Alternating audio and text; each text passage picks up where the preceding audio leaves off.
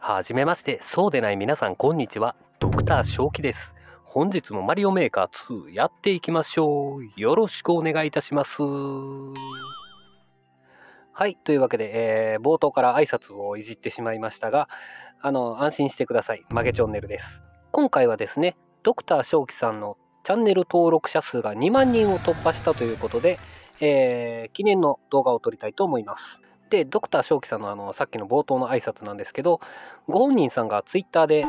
大阪弁で最初の挨拶してみたいけど、うまいことできねえなっていう話をしてたんで、ちょっと代わりにやってみました。えただですね、皆さんに言っておきます。あの、完全にエセ大阪弁です。これをね、本場の大阪弁だと思われたらね、あの、大阪の方にぶっ飛ばされてしまうんで、あの、この辺、あの、ご注意いただいたらと思います。で、あの、2万人はまあ、もともとお祝いしようと思ってたんですけど、まあ、コース作ってね、あの、ドクター正気さん2万人おめでとうスピラーみたいな。ただ、今となってはですね、あの、まあ、初期さんが満足できるような難易度のスピラーを作れるかどうかと、作ったところで、うちがクリアチェックができないと思います。なので、えー代わりに、うちが初期さんのコースを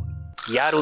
リニューアルして、うちが一発目に初期さんのコース動画化したんですが、それ以来ね、ちょっと遊べてなくて動画化もしてなかったので、えー今回を機会に、えーちょっと遊ばせていただこうと思います。まあ本当はね、あの、2万人行ってすぐぐらいに、えー動画作りたかったんですけど、なかなかタイミングが合わず今となってしまったんですが、ちょうどね、あの、読書の秋ということで、えーいいんじゃないでしょうか。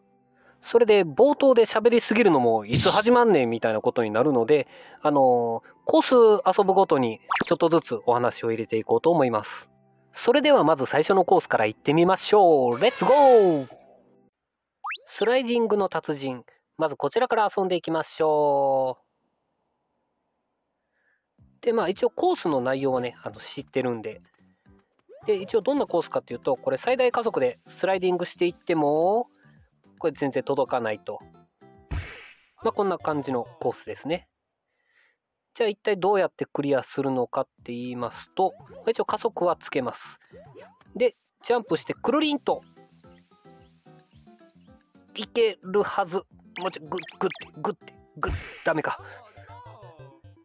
ま一応あんな感じでね、タイミングよくあの、くるりんを入れると、スライディングの距離が伸びるんで、それで、今の全然入ってなかったな。あ、まあでも惜しい。あれをうまくタイミングよくやると、ゴールのところまで滑っていけると、これいいんじゃない？これいいんじゃない？よし、オッケーありがとうございます。はい、こんな感じで1コース遊んだらちょっとお話をしていこうと思います。まあ、ご存知の方も多いかと思いますが、まあ、ドクター正気さんね、あのーまあ、プレイもさることながらコースを作るのもうまいので、えー一応、この2万人お祝い記念ということで、コース紹介を兼ねて、えーこちら動画化していこうと思います。マリメの細かい知識もね、あのーかなり豊富なので、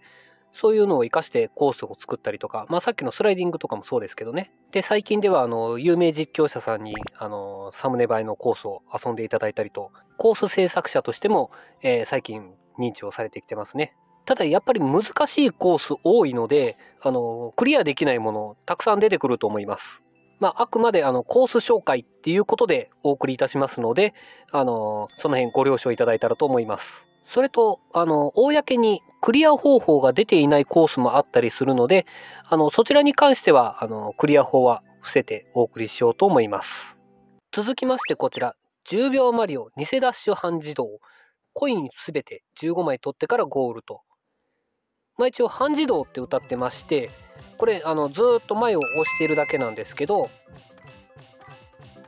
これでゴールまで行けるかと思いきや、ちょっと足りないと。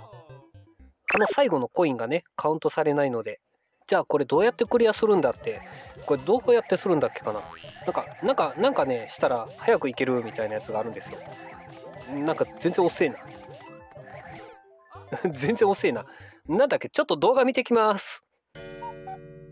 すいません、皆さん。タイミングよく下を押すだけだそうです。なんか下を押したらね、ギュンって早く行ける時があるみたいで、それをうまく使うとクリアできるみたいですよ。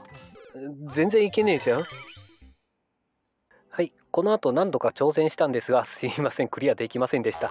この動画の説明に初期さんのクリア解説の動画のリンクを貼っておきますので、よかったらそちらからご確認ください。まあこういうね、知識がないとクリアできないようなコースもたくさん作っています。なんせメンサー会員なんでね、あまあすごいですよね。IQ167 って。まあうちもそこそこいい方ではあるんですが、初期さんに出会ってからね、もうそれを売りにする気がなくなってしまいました。もうマリメもね、プレイもすごくて、コースもすごくて、で、音ゲーもできて IQ167 って、どんだけパフェさんやねんってね、ちょっと冷静に考えて、どっか勝てるとかあるかな素直さとか？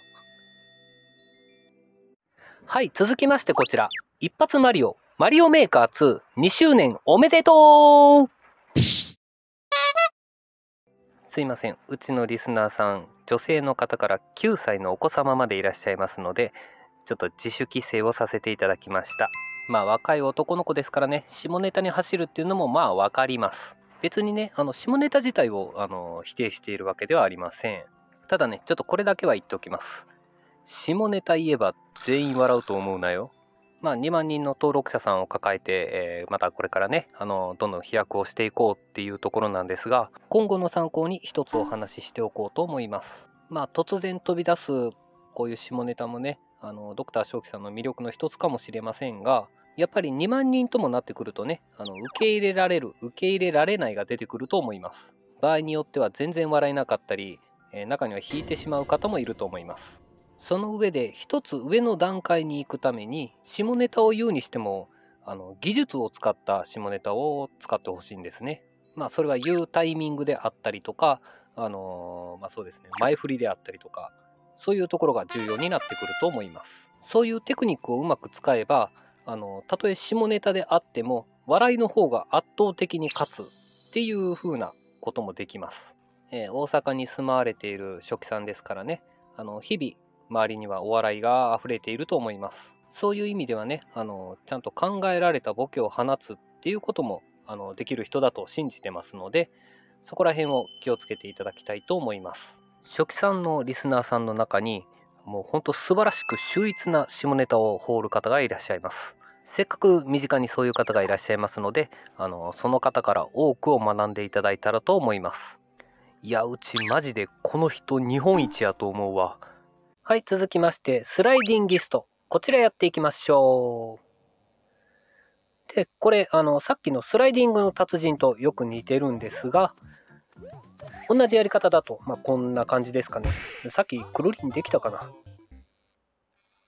で、今度どうするかというと、あの、こっちの方がシンプルですね。そこの1段のところで、くる、すいません、失敗です。あそこのね、出っ張りのところで、しゃがみくるんが決まれば、うまいこと、くるりん出ないじゃん。しゃがみくるりんがね、出れば、あのゴールできるはずです。ちょっとね、何回かやってたら多分クリアできると思いますので、よいしょああ、もうちょっと今のいけねえのか？よいしょほいオッケーいけたありがとうございます。まあ、こんな感じで、うまいことやるといけます。なんかクリアしたコースが滑ってばっかりってちょっと嫌やな。ここまでで10分ぐらいの動画になりますので、ここで一旦一区切りにさせていただこうと思います。まあだいたい1本10分を目安にして、えー、これからね、あの続いてどんどん紹介していけたらと思います。まだまだね、あの面白いコースいっぱいあるので、まあちょっと連続でっていうわけにはいかないので、あの、まあ動画の合間合間で、あの、ちょこちょこ入れていこうとは思います。この動画をきっかけに、えー、これからね、まあ、3万人、4万人、どんどん増えていく中で、えー、1人でも2人でも足しになるような動画になったらいいなと思います。まあ、この動画をね、出していく間に、あの、まあ、初期さんがまた3万人いって、この2万人おめでとうが3万人おめでとうにそのまま、えー、スライドさせていけると、こちらとしては企画楽なので、あのぜひとも頑張っていただきたいと思います。というわけでご覧になった皆様、えー、ドクター正気さん、えー、今後ともよろしくお願いいたします。それでは今回の動画以上にしたいと思います。ご視聴ありがとうございました。次の動画もお楽しみに。まったね初期さん、2万人おめでとうたまにはうちのコース遊んでもいいんだよ